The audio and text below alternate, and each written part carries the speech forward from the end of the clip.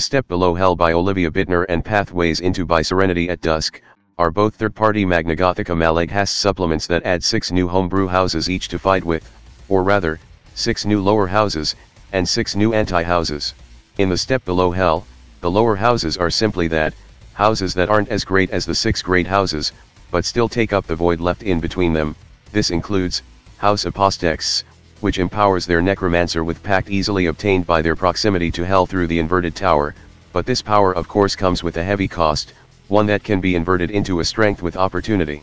House Rotcore is simply another mercenary guild vying for contracts within the Dead City, they cannot compete with Carcass in terms of technology, so they compensate with sheer mass of bullets and bodies, fueling the demand for corpses as required. House Prusich sits at the top of the spiral of paranoia and fear set by the anxiety devil, who picks its servants from here, their greatest fear become their power, and have to do the devil's bidding or else they will plagued by it again. House Black Carpet does the bidding of the opportunity devil, Amobius, instead, and the dead city has mountain of bodies, giving plenty of chance to become festering ground for the fungi and fly colonies, it's the only house that doesn't seek the end of death, for the great garden will never flourish if that happens. House Lilystone, once guardian of the vast waterway beneath the city, schisms and splits within house infrastructure has ruined their sanctuaries, the necromancers of Lilystone used the magic of phylacteries, granting them and their court immortality in a way, but this merely made their ancient feud endless, bringing the Shadow War all the way to today. And finally,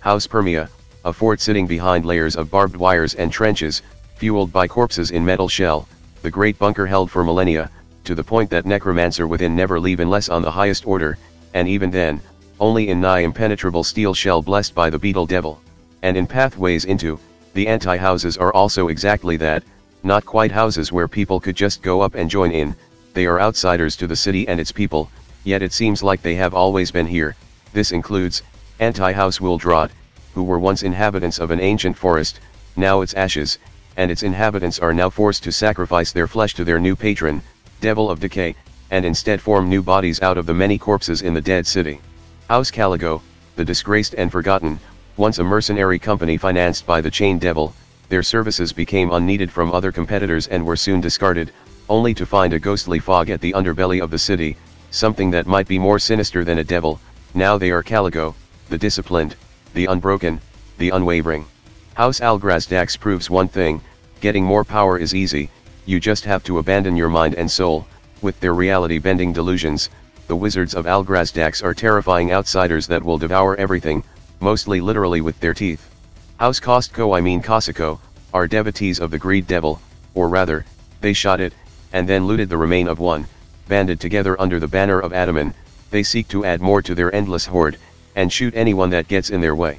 House Axcually came from the other side of hell, a dying, dwindling race of immortals long past their own prophecy, now merely sustaining their unlife by eating and drinking the flesh and blood of others, to the point that they are barely holding back their animalistic hunger. And finally, House Lumina, born of a cosmic mistake, when Crusaders of the Holy Lance asked the Almighty for help, it unfortunately responded, at night, a star fell, named the Ravenous Light, and much like a star, it incinerated the flesh and souls of those that came before it, and it still hunger, those who are desperate that survived its presence are granted celestial power, and put the bodies and melted equipment of the Crusaders to good uses. All in all, these houses are full of very interesting concepts that more people should check out, you can find them both on itch.io, and yeah, this video is a bit of a short one, because I kinda needed a break of sort after going complete maniac mode and making so many long as hell videos in such a short span of time, anyway, that's all for now, and I will see you all next time.